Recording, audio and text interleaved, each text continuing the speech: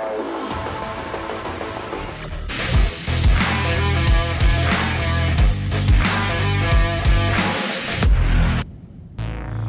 Bueno, estamos hoy con Daniel Seijo y Eduardo Ortiz de Lanzagorta, que son, bueno, además de emprendedores metidos en mil proyectos anteriores, ahora están a saco con Fuel, que es una iniciativa muy interesante de tarjetas muy orientadas a empresas. Luego, profundizamos. Daniel, Eduardo, muchas gracias por estar aquí con nosotros. Gracias a ti por invitarnos. Antes de arrancar, vamos a ir como un pelín para atrás luego para que contéis un poquito de, dónde venís, pero para ubicar a la gente, un pitch de Fuel. Mira, si lo cuento rápidamente, o sea, Fuel básicamente es una solución, somos una empresa lo que estamos intentando es crear productos que permitan que los equipos se dediquen a las cosas que realmente importan. Y hemos empezado por unas tarjetas corporativas, tarjetas corporativas que son también un software de gestión de gastos, ¿vale? Lo que pretendemos hacer y lo que estamos haciendo es eliminar lo que son todo el proceso de, hacer los informes de gastos, eh, reportarlo a la empresa, hacer la reconciliación, actualizar los presupuestos, todo, a mano, ¿no? Todo este tipo de cuestiones se eliminan y, gracias a nuestra solución que por primera vez integra software y tarjeta al mismo tiempo, eh, se simplifica muchísimo el proceso, ¿no? Este es un primer producto de muchos que pretendemos ir sacando. Todos con el mismo propósito. Y, mola porque con la visión lo dejas claro, ¿no? Que, vais a ir haciendo más. Luego, luego profundizaremos al final del todo, ya os tiraré de un poquito a ver si nos contáis qué es lo siguiente que tenéis en mente. Si queréis, damos un pasito atrás. En ambos casos tenéis una experiencia brutal como emprendedores. Contanos un poquito para contextualizar a la gente, cada uno de vosotros. Si quieres, empieza tú, Edu, y cuéntanos qué has estado haciendo hasta Fuel y luego Dani. Bueno, yo eh, empecé, bueno, me vine aquí a Madrid a estudiar con, con 20, bueno, con 19 años, ¿no? A, la Politécnica aquí de Madrid. Luego mm, me, aburría y necesitaba hacer más cosas y, me puse a emprender, ¿no? Entonces, bueno, empecé como primero eh, como, como llevando el desarrollo de negocio de una startup en Madrid. Luego, mm, esta empresa me mandó a San Francisco a continuar con el desarrollo de negocio y la verdad que fue una experiencia magnífica, ¿no? Porque estar muy jovencito ahí en, el Rocket Space, que es un coworking con grandes empresas y la verdad que eso fue fantástico, sobre todo para, para cambiar el mindset, ¿no? Y, ver cómo, cómo, piensan ahí en, Estados Unidos y en Silicon Valley, ¿no? Muy en grande. Eh, y la verdad que eso se me, se me pegó y ya volví con, con la mentalidad de, de, de, querer eh, seguir en ese sector y pensando de esa manera, ¿no? Y, bueno, entonces conocí bueno, a Gonzalo Ruiz, que es uno de los fundadores de Cibeta Investment, que, también fundó Dani, ¿no? Eh, él vino a una, una, una, una, startup, pues, un, perdón, un evento que habíamos organizado ahí en San Francisco. Luego me reconoció que solo había venido a comer pizza y cerveza, pero, pero bueno, pero vino al evento eh, y de casualidad de la vida nos, nos conocimos. Y entonces pues metí en Cibeta, al principio como analista, luego ya acabé en el, el Consejo de Administración. Y bueno, luego monté la filial española de una fintech, que, que un proyecto que a nivel global ha gestionado miles de millones de euros en valor de proyectos a nivel inmobiliario. Y, y ya luego terminé, bueno, vendí mi parte de la empresa porque tuvimos diferencias muy fuertes con uno de los socios. Em, y, y, bueno, ya me, me, terminé la carrera de ingeniería, que la tenía todavía ya a medias. Y fue cuando ya retomamos Fuel, que era un proyecto que en 2016 eh, fuimos a arrancar con otro formato eh, y luego, bueno, hicimos un proceso de design thinking para entender muy bien eh, cuáles eran las oportunidades que se tienen en el mercado y así fue como, como lié después a, Dani para que se involucrara, porque la verdad que es un, lo conocía ya, bueno, de, de Cibeta, ¿no? Y ya también hemos hecho poco a poco una, una buena amistad y bueno, siempre me ha parecido un auténtico crack y la verdad que liarlo ha sido, ha sido una, una, una grandísima idea. Oye, antes de que pasemos a Dani, de todas estas cosas que has hecho, ¿cuál sería tu principal aprendizaje que, has sacado en el pasado que te ayude a emprender mejor? Uy, yo creo que la idea principal para el emprendimiento es que no sabes. Eh, y, es saber que no sabes lo que, lo que más valor te va a generar en el futuro, ¿no? Y cómo lidias y cómo, cómo, cómo haces eh, para lidiar con, esa, eh, con ese desconocimiento, ¿no? y para tomar decisiones eh, en base a ese desconocimiento, ¿no? Yo creo que esa, esa es la clave, ¿no? Ahora en Fuel, eh, por ejemplo, estamos en una fase súper interesante en la que estamos mm, instrumentando absolutamente todo eh, a unos niveles que, que, yo no sabía ni que se podían hacer. eh, y yo creo que está siendo fantástico para, para elevarse por encima de, de, lo que suele ocurrir en, las startups, de que un fundador diga, esto es así porque yo creo que esto es así, o porque yo quiero que esto sea así, o porque yo siento que esto es así, ¿no? Eh, y esa no es la forma, yo creo, de, tomar decisiones. Y, bueno, eso yo creo que es la clave, ¿no? Basarse en datos y ser lo más objetivo posible, mm, sin enamorarse de las ideas que, siendo emprendedores como somos nos cuesta mucho. Oye, súper aprendizaje, totalmente de acuerdo. Dani, en tu caso, tela también, porque tú tienes un track record de, la leche. Cuéntanos un poquito tu historia. Soy un poco culo inquieto. Yo creo que es un defecto. La gente me dice, oye, enhorabuena por todo lo que has hecho. ¿no? Pues, pues yo creo que es un problema. Tengo que, solucionarlo. Eh, bueno, yo, empecé realmente empecé mi blog con, con 19 años, mi blog personal, que, bueno, en aquella época... Eh, digamos, ahora tener blog con 19 años es lo normal, pero eso creo que fueron como 4 o 5 años antes de que existiese WordPress, ¿no? Era, era otro contexto. Y me interesaba, empezó como un blog personal contando intereses, eh, pero me empezó a interesar especialmente el, el, efecto del propio blog en el impacto en los medios de comunicación. El cambio de un modelo en el que unos pocos generaban contenido y eso era la verdad absoluta, a un modelo en el que cualquiera pudiese eh, generar contenido especializado. ¿no? Dentro, el, ejemplo es este, este, este podcast, ¿no? como una barrera de entrada se, se baja eh, para que entren actores que hasta el momento no, no, no, estaban ahí. Y esto me empezó a obsesionar y dije, vale, me encantaría crear un medio generalista, un medio de tecnología, pero tengo 21 años, no me da la cabeza para eso, no tengo experiencia, así que me voy a meter en un sector donde pueda impactar y decidí montar Diario Motor, que fue el primer blog de coches en España. Eh, sigue existiendo, 15 años después es uno de los tres más leídos de España, dependiendo, del mes en el que me preguntes, es el más leído, el segundo, vamos oscilando ahí. Eh, ya ha evolucionado, la etiqueta de blog quedó atrás en, 2010 y, ahora ya todos son medios ¿no? con, distintos, eh, con distintas aristas. Durante unos años estuve trabajando también a la vez para Weblogs SL, que es una empresa que está, vamos, admiro muchísimo porque es un, caladero de cracks absoluto. Eh, no, no, somos la 20 Mafia, pero, pero en contenido es equivalente. Eh, y en, bueno, estuve unos años de 2005 a 2010 aproximadamente y en 2013 ya Diario Motor estaba un poquito más maduro y ahí pues me vine arriba y empecé a hacer más cosas, ¿no? Entre ellas, eh, al final parecen muchas, ¿no? Pero para mí es una evolución natural. Es decir, cuando tú haces algo y más o menos te va bien, pues, en, un proyecto tiendes a hacer dos cosas. La primera, eh, echar una mano a otros con tu conocimiento y tratar de invertir en otros proyectos. Y así nació eh, Cibeta Investment, que fue el, origen. Han salido cosas muy chulas de, Cibeta, pero la principal conocer a Edu. Eh, y una empresa de servicios que, que fue un, camino que decidí que desde luego no me gustaba. No, eh, podríamos hablar otro podcast otro día de, de, esa alineación de intereses en servicios. Y también monté un comparador de coches que se llama ¿Qué coche me compro? que acabó fusionado con Diario Motor por motivos obvios pero que el enfoque era totalmente distinto, ¿no? a pesar de que el sector fuese el mismo, era el cambio de medio de comunicación a proyecto tecnológico y fue un gran aprendizaje, eh, socios nuevos con los que vamos, sigo trabajando y es apasionante. Y, eso, un gran, un gran cambio desde luego ese, ese año.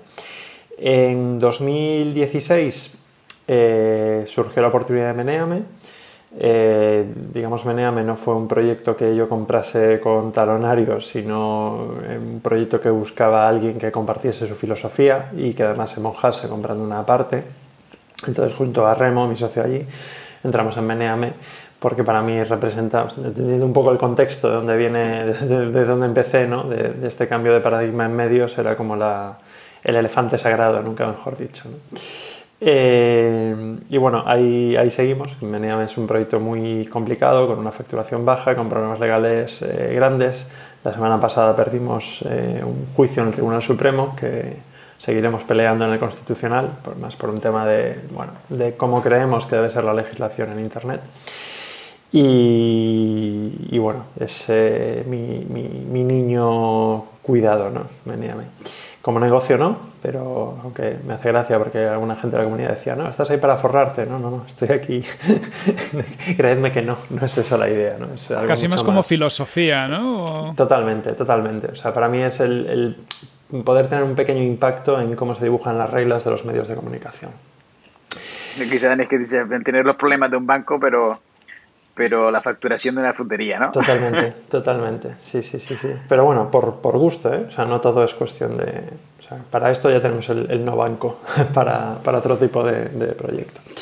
Después, en 2017, eh, bueno, ayudé a montar un estudio de diseño en Nueva York de Carlos Prieto, que todo es una excusa para tenerlo con nosotros diseñando y porque mi objetivo en la vida hace cuatro años no era, o oh, quiero hacerme millonario, quiero no sé qué, no. Mi objetivo, yo le decía a Carlos, es trabajar contigo todos los días porque me parto el culo contigo y eso es lo que importa al final en la vida. En 2017 también vendí el 49% de Diario Motor a, a otro grupo editorial. Y ya en 2019, pues Edu empieza a comerme la oreja para esto de Fuel.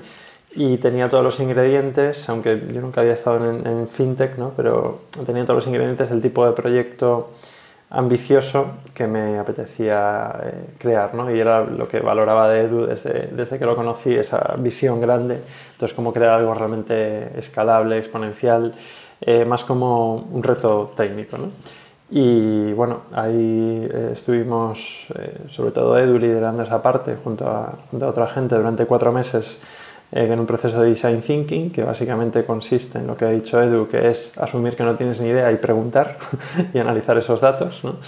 Y la mayoría de empresas a las que, a las que se preguntaba decían que tenían un, un pain muy grande con todo el tema de informes de gastos. Y yo como eh, ex informático obseso con la optimización y con no perder el tiempo, pues desde luego esa, esa parte de ahorrar tiempo a la gente es algo que me, me encanta.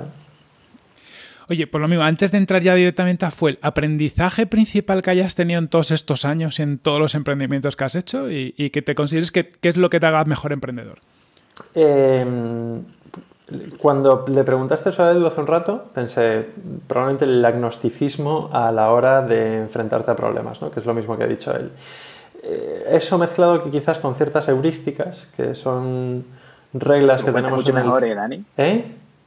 Te lo cuentas con palabras mucho más bonitas. Sí. Porque, porque, llevo, porque llevo 15 años en medio. yo, te puedo hablar 5 minutos de cualquier cosa y parecer que es un montón, luego hay que aterrizarlo. ¿no?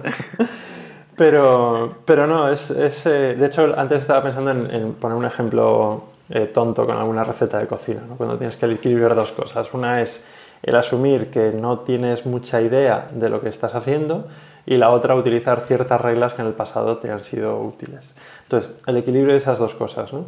Y te pongo un ejemplo. La hora anterior a contestar esto, estábamos eh, Edu y yo peleándonos ahí con un documento que tenemos que entregar. Entonces, ¿cuál es, me daba cuenta, ¿no? ¿Cuál es la reacción humana natural cuando yo un, un, trabajo, ese documento? Es, bueno, lo mío ya está, es maravilloso, yo aquí llevo 15 años y está perfecto.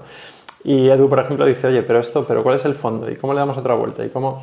Entonces, el, lo primero que tienes que hacer es tragarte la parte de orgullo y decir, efectivamente, igual mm, porque sea mío no significa que esté bien y porque yo crea que esté bien no significa que esté bien. Entonces, darle esa, esa vuelta. ¿no? Yo creo que el emprendimiento eh, siempre te, te, fijas en las excepciones, que son Elon Musk, Steve Jobs y ese tipo de gente, eh, pero la realidad es más basado en la, en la capacidad de entender que cualquier cosa que pienses es discutible y se le puede dar una segunda y tercera vuelta. Oye, nada, estáis alineados pero con enfoques distintos también. Que, luego también profundizaremos en, enfoques distintos que tenéis, que os escucho en alguna entrevista y, hay alguna cosilla curiosa. Decía Edu que en 2016 ya, ya, empezabais a tener la idea de, de Fuelo, al menos la empezaba a tener él. Eh, ¿Cómo era esa primera idea y cómo la habéis llevado hasta hoy en día? Muy buena pregunta.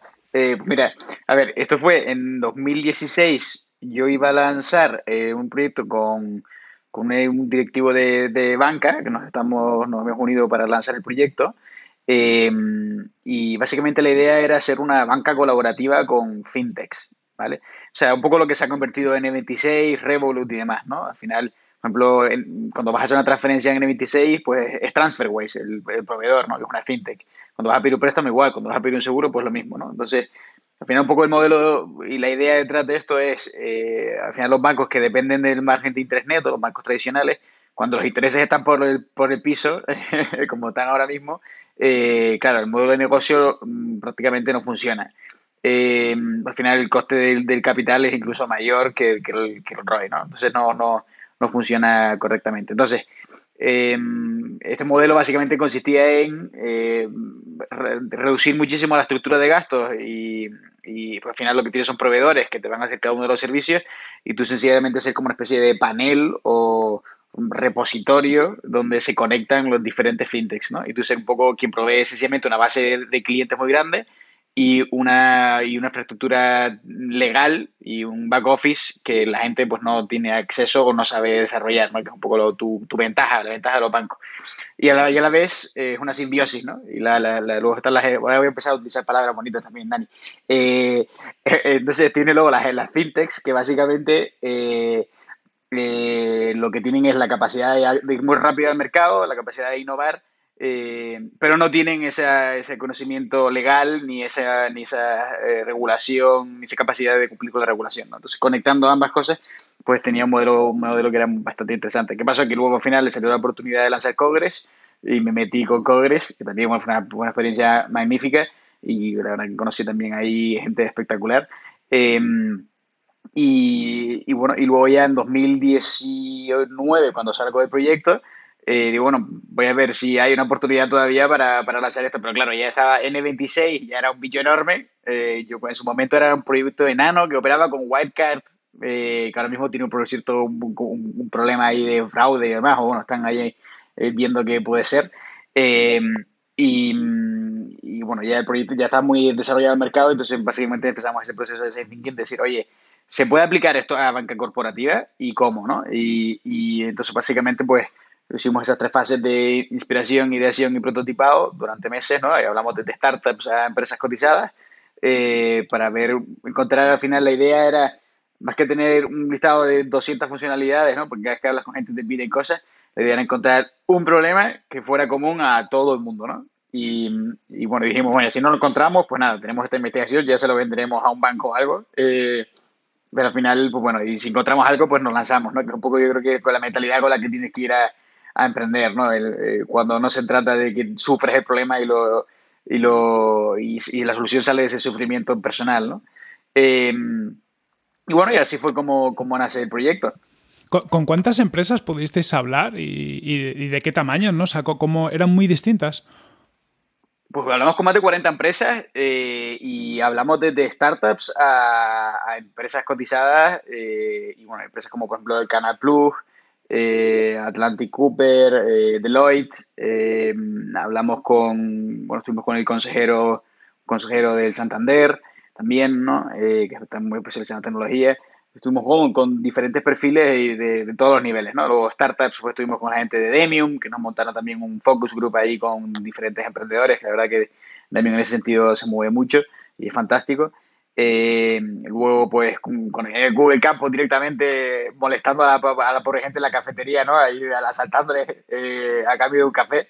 Y, y, bueno, un poquito de todo al final, ¿no? Y, pero, pero al final es fácil, ¿no? O sea, eh, me refiero que me mola lo, que estés contando porque es lo que siempre decimos ¿no? en las charlas que hay que hacer, sal a la calle, habla y nadie lo hace. Entonces vosotros habéis salido, habéis hablado con 40 empresas o, las que sean de ese orden para sacar conclusiones, pero no, por lo que estés contando, tampoco ha sido un drama ni un problema y la gente os ha abierto las puertas. Para nada, para nada, sí. O sea, al final la gente, que decir, está encantada de ayudar.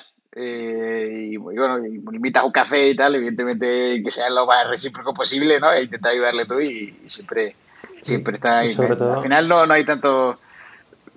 Sobre todo cuando ves ese brillo en los ojos de, de, que te dicen, Dios, si hicieses esto lo contrataría hoy mismo, ¿no? Que luego no lo puedes tomar como algo real, pero, pero eh, sientes, digamos, tienes ese feeling de decir, efectivamente esto va a solucionar problemas, ¿no? Claro. O sea, es que de hecho, hay, bueno, de los, de los, clientes que hay ahora mismo, varios son de, de, ese proceso inicial que, que, dijeron, oye, es que, o sea, por favor, resuelve esto, ¿no? Y al final lo ven, lo ven como una oportunidad, ¿no? O sea, uno de los puntos aquí es que no ofrecerle descuentos a, a esos early adopters, sino que, el, que el premio sea que el producto está también adaptado a lo que ellos necesitan, ¿no? Y, y contemplado sus necesidades del origen, ¿no? Y al final es como, hablábamos con empresas que te decían, es que, es que llevo años intentando resolver esto, eh, me he analizado todas las plataformas, intentamos montar nosotros algo, es un lío, no funciona nada, o sea, y estos son los problemas que tengo. Nos sentaron con la CFO del grupo, eh, estuvimos hablando de todos los problemas que tenían uno a uno, ¿no? Y qué es lo, la carta de los Reyes Magos para, para su producto, ¿no? Es, que más información más valiosa que esa no hay, ¿no? Eh, y, al final es la, es la, clave, porque luego ya encima arrancas y ya tienes tus primeros followers o early adopters que te, que te, van, que te van ayudando que te siguen. Oye, y en todo esto, ¿cómo convences a Dani? ¿no? Pues lo decías antes, tú vuelves, eh, ya tienes esta idea y hay un momento en el, en el, que ya conocías a Dani, pero le vas a convencer. ¿Cómo conseguiste convencerlo? ¿Fue fácil, difícil? Bueno, Dani fue. Hubo, hubo que invitarle a las ocho y medio un par de veces y ya estaba ganado. Sí, es que yo creo que fue algo muy...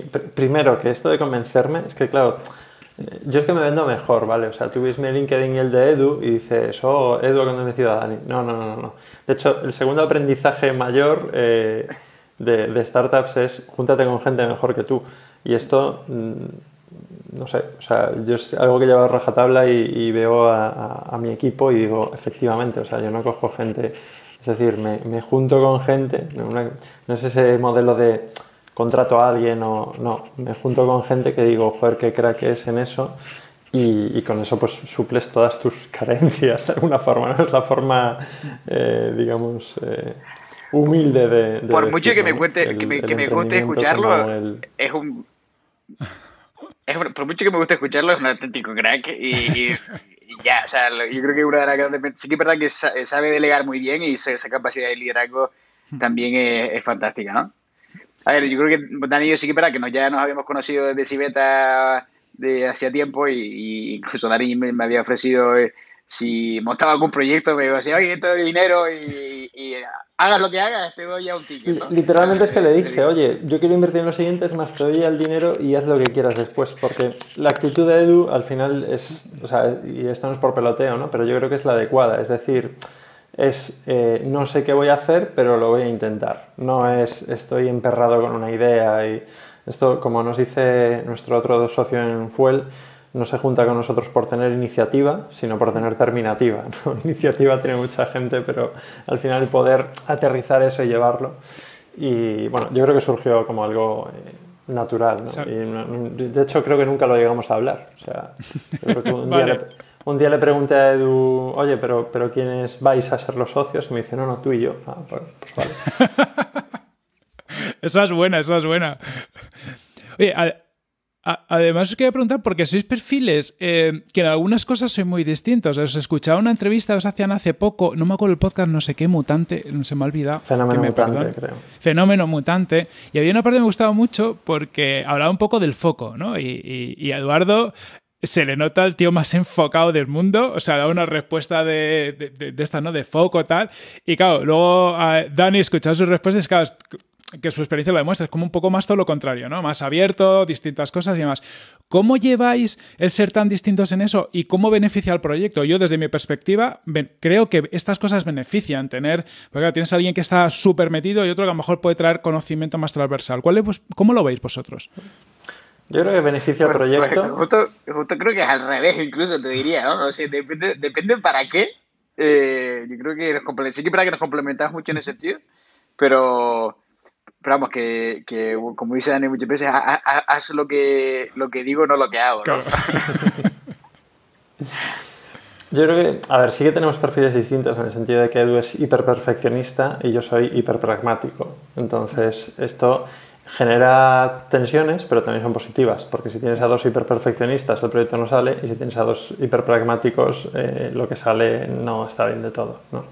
Entonces, en ese sentido está, está bien. Yo soy más difuso, ¿vale? Y tengo experiencia más holística, toma palabrejo. Eh, quiere decir que no tengo foco, ¿vale? Todo, hay un eufemismo para, para explicar para cualquier, cualquier defecto. Pero, pero, digamos, en ese día a día sí que, nos, sí que nos vamos compenetrando con visiones distintas pero compatibles. Y yo creo que sobre todo por lo que compartimos en común, que es decir, ninguno de los dos piensa que tiene una razón definitiva, sino estamos dispuestos a, o sea, lo vemos como una investigación, de decir, oye, ¿qué opinas tú de esto? Yo de esto, vale, pues las opiniones no valen nada, vamos a intentar ver cómo, cómo medirlo, ¿no? Que eso, luego aterrizar en el día a día, pues no es tan fácil, ¿no? Y, y yo, claro, le llevo 10 años a Edu, aunque no lo parezca por mi juventud, pero bueno, ahora es que se ha afeitado, sí. Eh, entonces digo, joder, me he, peleado, me he peleado cinco veces con esto y sé que se soluciona así, ¿no? Entonces te cuesta más decir, mm, voy a intentarlo de otra forma porque igual estoy equivocado, ¿no? Entonces esa, parte que te decía antes, esa mezcla entre heurística y, no tener orgullo a la hora de plantear otras cosas, pues es un poco la, la dinámica que tenemos en el día a día. Y luego, por suerte, pues él es más eh, vamos, se mete más en temas financieros, procesos y demás, lidia con abogados, que es algo que para mí no, no, no, puedo con ello, y yo me peleo un poquito más con máquinas, tecnología y demás, que, que sí que me llevo mejor con ellas. Os repartís bien el, pastel. Quería volver ahora a, profundizar ya entrando ya en Fuel en el problema que, que soluciona. Es decir, eh, al final, lo habéis comentado al principio, me gustaría que expliquéis un poquito más el, problema y, y, por qué no se está solucionando hasta ahora. Porque creo que es un problema súper, lo habéis dicho, ¿no? Que tiene un valor de la, leche, pero ¿por qué narices no se estaba solucionando? Bueno, ahí, o sea, o sea, por comentar un poco cómo, cómo funciona hoy en día, ¿no? Eh, la mayor parte de, la gente, bueno, en el peor de los escenarios tienen un Excel y van gestionando los gastos con ese Excel, ¿no? En el mejor de los casos, pues tienen un software eh, tradicional, tipo Captio, Concur, etcétera. Em, digo tradicional, pero bueno, se vendió una de ellas por 20 y pico millones en 2018, que quien esté escuchando esto.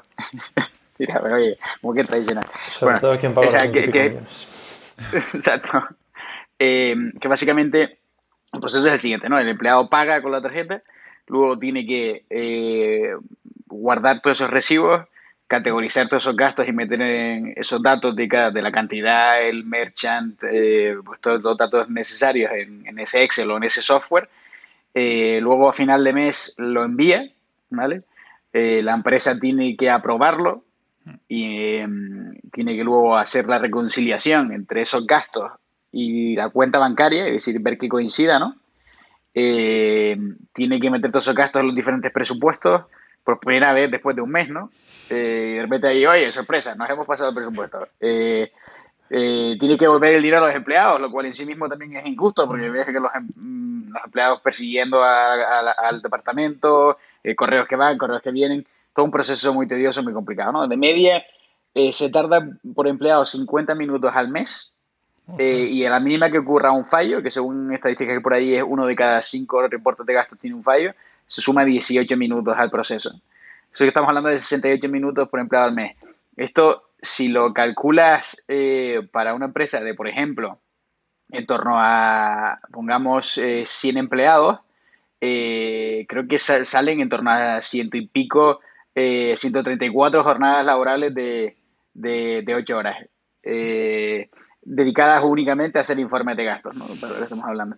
Entonces, eh, ahora mismo lo que, lo que ha ocurrido es que ha entrado una, una nueva generación de, de, fintechs que yo creo que se han, que, que se han hecho viables porque antes pues, el poder emitir tarjetas corporativas con, con, Mastercard o con Visa pues era una cosa que muy pocos podían hacer.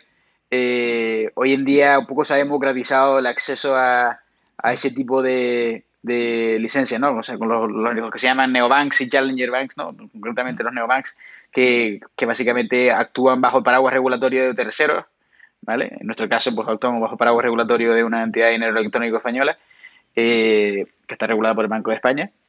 Y entonces, bueno, eso también ha facilitado y ha permitido que nazcan todas estas fintechs y se, y se introduzcan nuevas fintechs, aunque sigue siendo complicado y sigue teniendo un reto de una barrera de entrada importante, ya no es la que era antes, ¿no? Eh, entonces, bueno, ahora han salido este tipo de soluciones como fue el que básicamente la idea es muy sencilla, que es que yo soy el emisor de la tarjeta y el software al mismo tiempo. De manera que cuando tú pagas con la tarjeta, primero, te puedo asignar el dinero de forma proactiva, ¿no? Te puedo asignar 300 euros de marketing, 400 euros para gastos de, que puedas tener de, con clientes y lo que fuera, ¿no? Te asigno dinero de diferentes presupuestos. Entonces tú seleccionas, pagas, recibes la notificación automáticamente, abres la notificación, sacas la foto del recibo, se queda asociado ya a esa transacción, con lo cual la reconciliación no tienes que hacerla.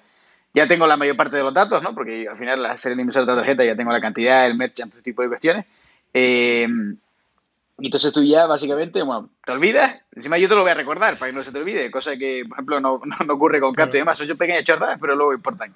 Eh, y luego la empresa al final está viendo cómo sus presupuestos eh, evolucionan en directo, eh, está viendo ya todos los gastos allí, incluso tiene ya el IVA eh, cuando selecciona la categoría, ¿no? El IVA y el, asiento contable, etcétera.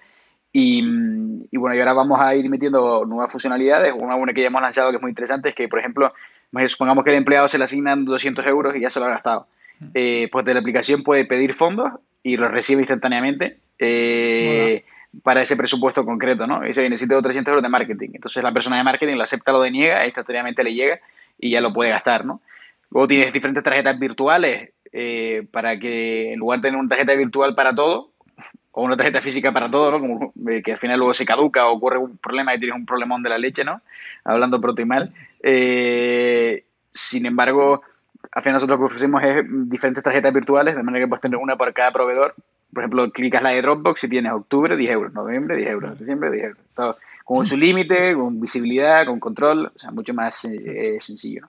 Ahora vamos a añadir nuevas cosas como la recuperación del IVA, que básicamente lo que voy a hacer es conseguirte las facturas eh, por proveedor em, para tu empresa. De manera que la puedo organizar por equipo, por empresa, o por, o por empleado. ¿no? Y básicamente te, te emito yo esa factura bueno, con, con, un tercero con lo que hemos llegado a un acuerdo, de manera que tú puedes recuperar el IVA, ¿no? Y al final del mes te a decir, oye, ¿quieres recuperar 35.000 euros de IVA? Pues sí, clic, pues ya está, ¿no? Eh, o sea, eso también eh, añade a toda esa cuestión de, al final tenemos tres patas, ¿no? La parte de la motivación del equipo, yo creo que es lo más importante y que la gente pueda pensar en las cosas que importan eso y dedicarle tiempo a las cosas que importan, ¿no? Que a lo mejor puede ser su familia, puede ser trabajar, eso cada uno que haga lo que quiera, pero eso es importante. Luego está el segundo punto, que creo que es el ahorro en tiempo, evidente, ¿no? Y el tercero, que es el, el ahorro económico, eh, tanto en, fraude o en, o en, gastos que están fuera de, de, las políticas que de otra manera no puedes controlar, eh, o incluso pues esto que estamos comentando, ¿no? De, de, de recuperación del IVA. Oye, ¿y, por qué ningún banco se habían animado a hacer esto? A mí me lo estás contando y digo, es que esto debería, vamos, debería ser clave para todo el mundo, porque la cantidad de dolores de cabeza que tenemos todas las empresas con estos temas. Y lo de recuperar el IVA me parece, vamos, la bomba. Pues mira. Pues. Bueno, yo, nada, yo creo que ahí también contestando a lo, eh, anterior, ¿no? De por qué ahora, yo creo que es un poco lo, mismo, ¿no? O sea, eh, a mí me gusta en, negocios verlas, eh, entender los modelos como reducciones de costes de transacción. Es decir, ¿cuánto me cuesta a mí eh, crear una tarjeta? a mí como empresa, ¿no?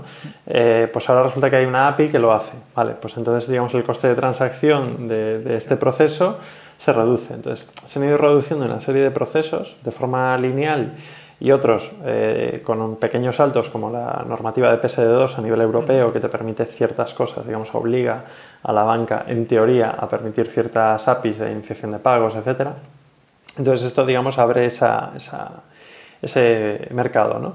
Eh, ¿Por qué los bancos no lo han hecho? Bueno, alguno lo está eh, intentando, pero yo creo que hay dos motivos. ¿no? el políticamente correcto, que es eh, que los bancos están centrados en particulares más que en empresas, ¿vale?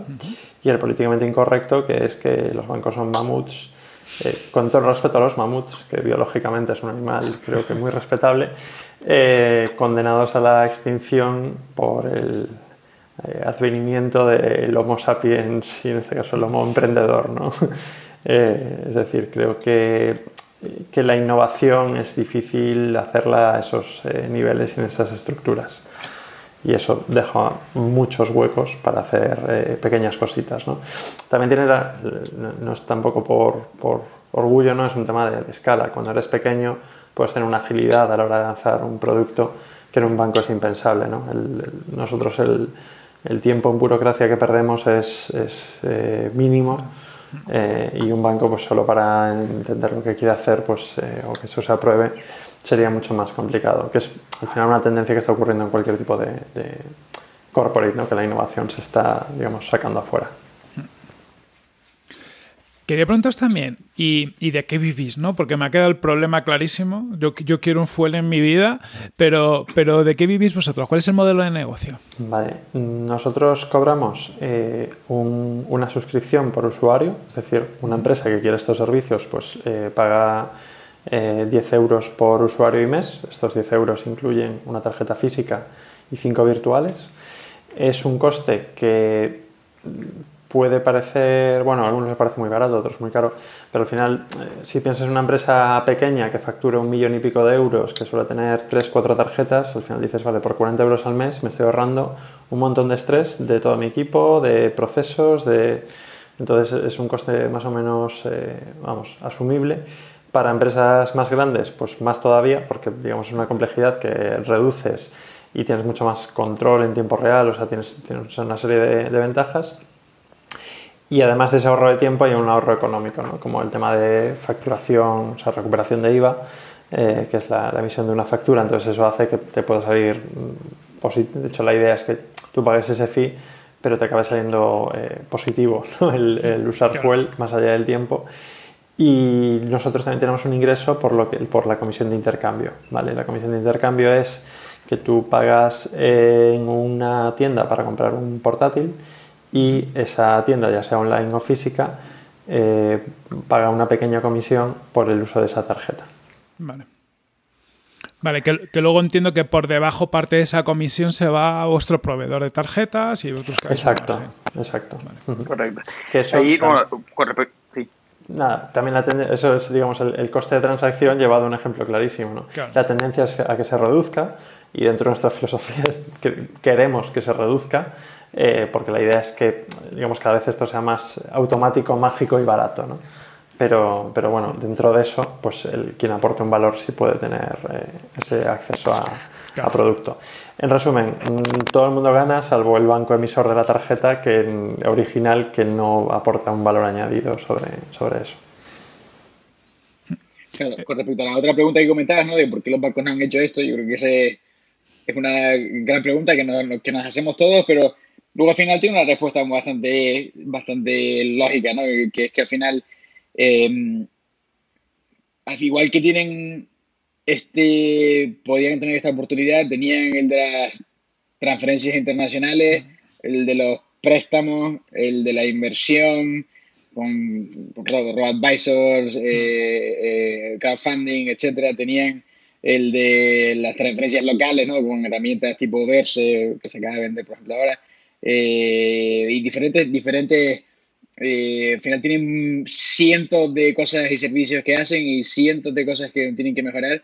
Y lo cierto es que todavía ellos, muchos al menos, eh, tienen todavía que hacer mucho trabajo en el back office, ¿sabes? antes de ni siquiera ponerse a reinventar servicios, ¿no? Al final, creo que la, la, la, cuestión aquí es que ellos también tienen al final un una inercia que ya llevan y una herencia tecnológica importante, eh, más todos los propios departamentos de compliance y todos los requerimientos legales, ¿no? con Basilea 3 y demás, que al final son muchísimas cosas que, que frenan muchísimo la innovación. Eh, y bueno, y incluso la monstruosidad, ¿no? Esos bichos tan grandes y demás, que, que de hecho históricamente están pensados para, para reducir el riesgo, no para aumentar la innovación, ¿no? Eh, al final ese es el propósito de un banco de toda la vida, ¿no? Eh, y ahora, claro, eso es un modelo, ¿no? Se, pues, tenían esos edificios enormes ahí en mitad de Castellana, ¿no? Para, para dar esa, esa solidez, esa, esa, esa, imagen de no cambio, de esto estará aquí estático para siempre, ¿no? Eh, y al final esa misma, esa misma idea, que es la que han tenido los bancos y han mantenido toda la vida, ahora es la que los está matando, ¿no?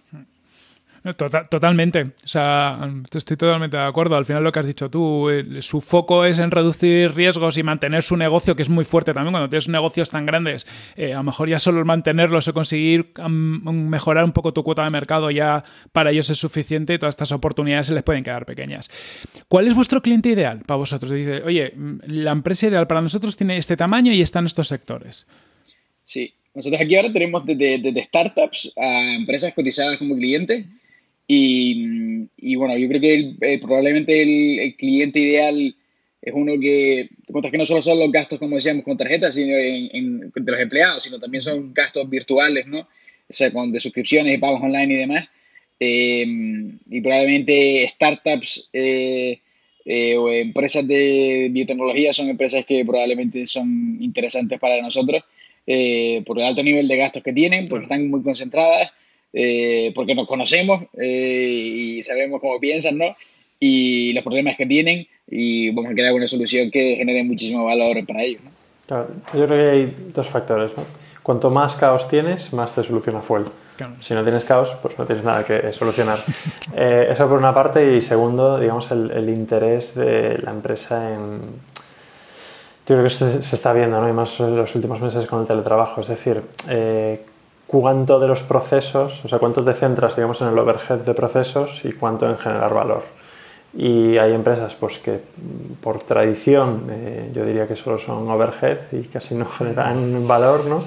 Y yo creo que todos los que estamos en el sector más tecnológico, competitivo, pues tratamos de que todo lo que hacemos sea para generar valor y evitar, digamos, procesos que no, que no aportan nada, ¿no? Y en este caso, además, bueno, si esa filosofía llevada al extremo yo no estoy de acuerdo, pero en el caso del trabajo sí, porque me refiero, eh, como dice un amigo, tienes que aprender a esperar la cola de la pescadería porque eso te hace más humano, ¿no? Pero en el caso de escanear recibos no veo nada de humano en, ello. Entonces, eh, bueno, creo que ahí hay un, un punto interesante que fue el eh, aporta, ¿no? Eliminar ese tipo de...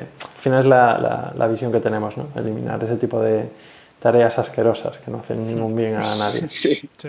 Y creo que y también un poco la idea también es con las propias herramientas. Eh, creo que una, otra de las lecciones, yo creo, más importantes es la importancia de crear una buena cultura de empresa. Eh, y que hoy en día para, para atraer talento es fundamental. Eh, pero ya no, ya, con, ya no viéndonos, viéndonos ya más allá de esa visión mmm, práctica, si quieres, sea, la realidad es que al final es donde quieres estar. O sea, que quieres estar en un sitio que tenga una gran cultura. Eh, y una cultura, gran cultura que no significa cosas raras, significa donde la gente puede ser ella misma, eh, donde la gente se desarrolla y crece y, y, donde, donde estamos a gusto y al final eh, estamos como si fuera en casa, ¿no? Y suena fácil, pero es complicadísimo de trabajar y desarrollar requiere muchísimo tiempo y dedicación, ¿no? Y como, como suelen como dicen también muchas veces, si no cuesta dinero no es cultura, en el sentido de que, de que hay que hacer una gran inversión para conseguirlo. Y, mm, y luego, pues eh, yo creo que con respecto a con este punto, lo que nosotros un poco lo que queremos conseguir con las herramientas es fomentar también principios un poco universales de, de confianza y de, de empoderar a, a, los equipos, ¿no? Y de fomentar también la transparencia que, que es otra de las, de las lecciones claves, ¿no? que sin, sin transparencia absoluta y radical, eh, al final se generan eh, problemas, ¿no? Y, y hay, que, hay que fomentarlo en todo caso, ¿no? Hay que fomentarlo en todo caso. ¿Qué preguntas en relación también a clientes? ¿Cómo captáis clientes? Porque me, me, queda claro a dónde vais, pero creo que puede ser complicado, ¿no? Pintas de fuera y dices, oye, no, no tengo muy claro yo a cómo llegaría a ellos. ¿Cómo estáis llegando a vuestros clientes a día de hoy? Estamos en esa fase de aprendizaje, eh, o sea, ocurren dos cosas. La primera, nuestro foco ahora no es el marketing, nuestro foco es el producto y desarrollar el roadmap con los puntos que tenemos, ¿vale? Que es uno de los, de los errores en los que nosotros mismos hemos caído, ¿no? De decir, no, ahora tenemos que tener miles de clientes y dices, vale, esto es una carrera a largo plazo. Lo que tenemos que tener es un, la obsesión es el producto, no, no tanto el, el marketing o las ventas. Eh, aún así, obviamente, estamos eh, vendiendo y probando. Es decir, tenemos, eh, tenemos un canal que nos funciona muy bien, que como la competencia va a estar escuchando esto, no te lo voy a decir. y, estamos haciendo varias, varias pruebas. ¿no? Y luego, obviamente, boca a boca. Es decir, hay un, un componente ahí importante. Pero básicamente va a ser un, un mix ¿no? de eh, esto, vamos, se puede contar porque eh, creo que es eh, bastante básico. En un software B2B tienes una parte de marketing online tradicional que te puede generar un buen, digamos, revenue de, de, de clientes, uh -huh. pero la base es un equipo de ventas, ¿no? porque el, el, B2B, digamos, no es tanto como el, sí. como el B2C. Y nosotros estamos, o sea, tenemos nuestras hipótesis, las estamos comprobando, estamos probando canales, pero es algo que, dentro de un año tendremos muchísima más información. Es lo que te decía sobre el agnosticismo, ¿no? El gastarte unos cuantos miles de euros y llevar cuatro meses probando no te hace pensar que tienes la respuesta todavía, sino tenemos un indicio de lo que funciona y lo que no. Claro, yo creo que al final un poco, eh, bueno, lo que nosotros nos ha participado de Venture City, que es un fondo de Miami, eh, y bueno, y, también también español, ¿no? O sea, que, que es fantástico. Eh, son, o sea, de todas, mira que hemos hablado muchísimo hablar de aceleradoras y demás, y suelen tener una reputación no muy buena. Eh, sin embargo, esto es eh, espectacular y lo, digo con total transparencia y, seguridad porque es que está siendo un aprendizaje increíble. Y bueno, ellos nos están ayudando mucho en toda esta parte y, de hecho son muy radicales y eso es fantástico, ¿no? Porque te cogen y dicen, oye, pero ¿cuál es tu ideal customer profile? ¿Cómo estás midiendo esto? O sea, ¿qué estás midiendo de, para tomar todas estas decisiones de marketing también, ¿no? Y al final te das cuenta de que y lo que hacen es te dicen, oye, para, frena. O sea, aunque, aunque te esté yendo bien, frena. No sabes lo que estás haciendo, ¿no? Pero al final la, idea es que sea repetible, reproducible y escalable, ¿no? Un poco todo lo que, lo que hagas, ¿no? Em, y, y, bueno, entonces en ese sentido yo creo que nos están ayudando muchísimo a, a, medir bien antes de tomar todas esas acciones y sobre todo en focalizarnos en, en la retención antes que en la conversión, ¿no? Que también es otro punto interesante. Sí, darle la vuelta a ese funnel. La verdad que el, bueno, el equipo Venture City, como viene gente de, de, perfiles muy top, con experiencia en productos, se focalizan mucho en lo que tú estás diciendo. Conozco gente ahí, da gusto hablar con ellos, que, que, son cañeros, pero entienden lo que es un producto digital y no lo típico de, oye, tú haz lo que sea y sal a venderlo. No, es que a lo mejor la, la base de mi crecimiento es mi propio producto, que eso es lo importante. Em, mira, nos decía Gerard Campillo por Twitter que os preguntara una pregunta para mí me parece muy interesante y, era sobre el tema del COVID. ¿Habéis notado más demanda por la necesidad de digitalizar las empresas? Pues mira, esa es una muy buena pregunta. Aquí yo creo que hay... Bueno, Dani, ¿quieres responder tú o respondemos los dos? O sea, no, tenemos, no tenemos datos suficientes como para, por el punto en el que nos ha cogido, pero em, yo diría que hemos visto las dos cosas. Hemos, hemos, visto empresas que se han planteado el decir, oye, igual todos estos procesos que tenía eh, analógicos y antiguos tengo que eh, digitalizarlos, y sí hemos visto eso. También hemos visto empresas de decir, Dios mío, no me hables de cambiar nada ahora porque estoy tratando de no ahogarme. Entonces, bueno, depende mucho del, caso de empresas. Yo, creo que la, respuesta más típica, hablando con clientes y demás. Eh, creo que al principio se asustaron y han querido parar todas las contrataciones de cosas nuevas y demás y reducir gastos a toda pastilla, ¿no? Eh, y ahora ya se están dando cuenta de que, bueno, que esto ha venido para quedarse, ¿no? Esta nueva tendencia de mercado también de trabajo en en, remoto, etcétera. Entonces, al final, para ese tipo de trabajo es necesario tener este tipo de herramientas también, ¿no? Pero también es verdad que al final te encuentras mucha gente que dice, oye, quiero hacer esto, ¿no? Y lo voy a hacer, eh, pero déjame que, me quite un par de enzimas primero eh, que son, que veo más prioritarias. Y creo que mm, eh, en, la mayoría de los casos es porque al final están acostumbrados a, a su propia mm, proceso que, que tienen ahora mismo que no es para nada eficiente, pero cuando no conoces otra cosa, te crees que es lo que hay y es lo que hay que hacer, ¿no? Y punto, no hay otra manera, ¿no? O sea, eh, de repente no entienden, yo creo, muchas veces el valor que genera. Eh, cuando lo ven y, y, les cuentas la herramienta con tenía o sea, un poquito más de tiempo y tal, todos te dicen, joder, es que todo, vamos, es que me ahorra una cantidad de horas. Y es que está sencillo, al final luego de gestionar, porque no es que requiere una curva de aprendizaje ni nada, es que está muy preparada la interfaz para que en dos minutos coges la tarjeta, añades un usuario, automáticamente se pide la tarjeta, llega a la oficina, te descargas la app, la activas, empiezas a gastar. Y te asignas al dinero poniendo de forma súper sencilla de diferentes presupuestos, que es un panel súper visual, ¿no? Hay Con lo una, cual... Una ventaja y un inconveniente que tenemos es que eh, muchos casos de uso no son intuitivos y depende de cada empresa. Entonces, es un inconveniente porque no es algo que puedas poner una landing y, y, y des en el clavo, pero es una ventaja porque una vez se entiende, te pongo un ejemplo, y, a mí me pasa, no sé, cosas que no había pensado, ¿no? Pero lo típico de te suscribes al típico SaaS que te cuesta 15 días gratis y luego 200 euros al mes. Y claro, ¿qué metes? ¿Tu tarjeta? No, eh, abres la app, eh, creas una virtual, eh, presupuesto un euro, copias en el móvil, pegas en la pantalla, ya está. Y si se te olvida cancelarlo y no estás usando, no pierdes 200 euros. ¿no? Entonces, ese tipo de casos, ¿no? y como este hay muchísimos en cuanto a gestión de equipo, en cuanto... Son cosas que te puedes ir planteando, que obviamente para nosotros el reto está en en focalizar en qué es lo importante y qué son, digamos, detalles pequeños, pero el, propio, o sea, la propia herramienta que ya tenemos ahora tiene un montón de casos de uso que ni siquiera nosotros mismos hemos conseguido ver, ¿no? Es como cuando Gmail creó el mail con un giga, ¿no? Bueno, ejemplo de, ejemplo de flipado de emprendedor, pero porque no es lo mismo, eso fue la leche. Eh, pero es el hecho de decir, ah, pero, pero si puedo hacer lo mismo, ¿no? ¿no? Es que hay 20 cosas que no has pensado, pero que te va a cambiar tu día a día. Bueno, os voy a hacer las dos últimas preguntas, que sé que, además eh, que ya vamos justicos de tiempo. La lanzo una cada uno y, así afinamos.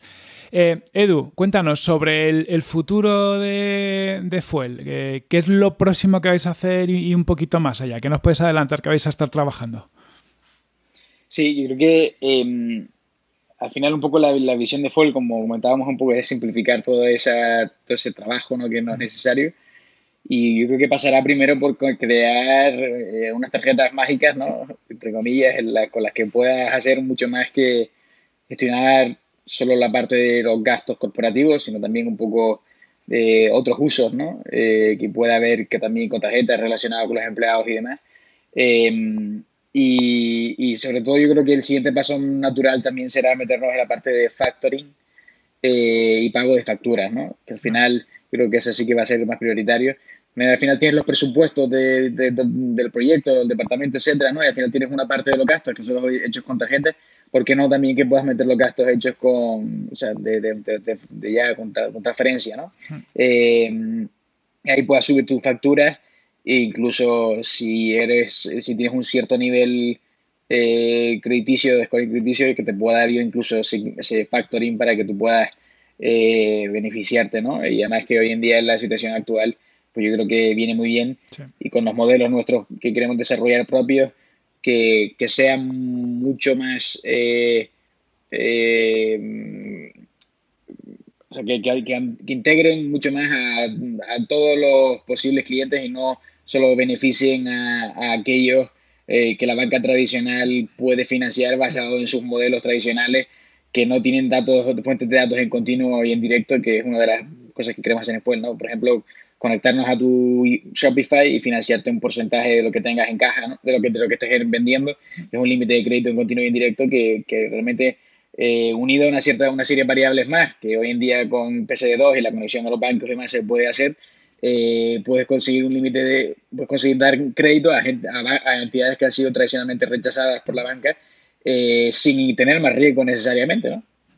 Oye, me suena, vamos, o sea, solo eso es un negociazo del 15, nada, ya estaremos pendientes. Dani, en tu caso, me quiere salir un pelín de fuel, lo comentabas al principio, la sentencia Meneame, ¿cómo la ves tú? Y porque, porque tiene muchas implicaciones, como tú has dicho, y te, he visto además que te fastidiaba. Cuéntanos un poquito cómo lo ves. Mira, eh, es, es, un tema súper interesante y voy a tratar de ser breve porque esto da para, para horas, ¿no? pero al final es... Eh, a veces a mí me gusta entender los, los, grandes conflictos del mundo los puedes entender entre como tensiones, ¿no? tensiones entre dos eh, ideas o dos visiones que, que, tienen parte de razón. ¿no? Y lo difícil es encontrar ese equilibrio. Entonces esto al final se engloba entre la libertad de expresión por un lado y del otro lado, eh, vamos a llamarlo, no solo la parte eh, legislativa o de protección, sino también la de lo que yo llamo conversación sana. ¿no? Entonces, es muy fácil posicionarse en un extremo y decir, no, yo estoy a favor de la libertad de expresión. Ya, pero luego es un ejemplo y dices, ah, claro, pero esto no. ¿no? Y luego dices, ya, esto no, pero si esto no, pues lo otro igual tampoco. Entonces, ¿dónde está ese límite? ¿no? Y cuanto más sabes sobre este tema, más, yo creo que a mí al menos me ocurre, cuanto más sé, más claro que tengo que no sé dónde está el límite. O sea, no tengo una posición radical al, respecto. Pero sí creo que hay eh, que, hay que corregir cuando algo se deriva a cierto extremo. ¿no? Entonces, relacionado con esto, eh, que un eh, político Eh, qué puta no tener el abogado aquí al lado para que me cite las palabras, porque imagínate, ¿sabes? No, no, puedo ser yo mismo. Esto con dos cervezas te lo cuento distinto. Eh, que, que, un político eh, lo insulte en el ejercicio de su cargo, en un contexto de una condena por, por, Joder, no puedo decir. por, iba a decir robar dinero, pero no voy a decir. no vaya a ser.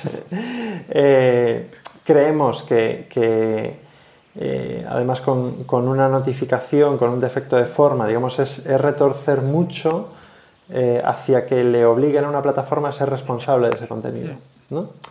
A la vez, yo no estoy a favor de, de, que puedas mm, insultar a una persona directamente en Twitter y que no haya límites, ¿no?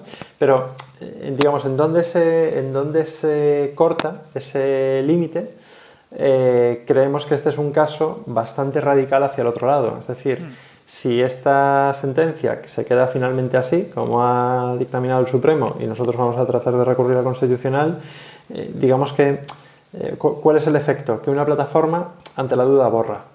Entonces, si, si yo veo que un comentario no me gusta respecto a mí, puedo enviar un correo anónimo a través de un despacho de abogados, sin identificarme y decir, o lo quitas o te demando y ni siquiera ellos pueden decir, oye, que ha amenazado con demandarme. No, no, es que no he sido yo, no te he enviado nada. ¿no? Entonces, eh, ¿qué va a ocurrir con eso? Que como plataforma, Meneame, como plataforma pequeña y muchas otras, por ejemplo, tú si te decides alojar tu podcast en una plataforma propia, eh, ante la duda vas a borrar. Y eso genera un Internet con el que no estamos nada de acuerdo y desbalanceado porque los grandes tienen abogados y van a poder ser plataformas donde pasen más cosas porque se pueden defender y los pequeños quizás menos. Mm, sí, es, es, otro... Esto, estuve en una, en una, reunión de la Comisión Europea que me pareció súper interesante. Estaba al lado del vicepresidente de Facebook ¿no? y él contaba sus problemas. Y, y, yo hablaba justo después y dije, bueno, pues yo tengo los mismos problemas que él, lo que pasa es que este señor tiene 500 personas en Barcelona moderando contenidos y nosotros no tenemos nada de eso, ¿no?